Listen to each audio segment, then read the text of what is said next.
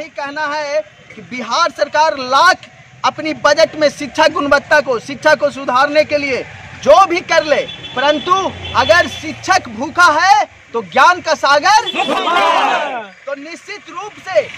अगर शिक्षक खुश नहीं होंगे, उन्हें समान काम के लिए समान वेतन नहीं अगर मिलेगा तो निश्चित रूप से हमारा समाज हमारे समाज में ज्ञान का सागर सूखा हो जाएगा तो हम सब सभी का यही कहना है कि बिहार सरकार जल्द से जल्द अगर समाज को स्वस्थ खुशहाल और